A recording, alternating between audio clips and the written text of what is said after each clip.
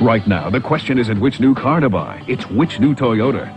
Let me see the Tercel. The most trouble-free car in its class with a new, more powerful 12-valve engine, new styling, and more standard features. At around $6,000, you can't beat that kind of value. I gotta have this car. Then you've got to hurry. Your Toyota dealer's out to set sales records, so all his Toyotas are going fast. See him today. You'll get the right deal right now. Who could ask for anything more?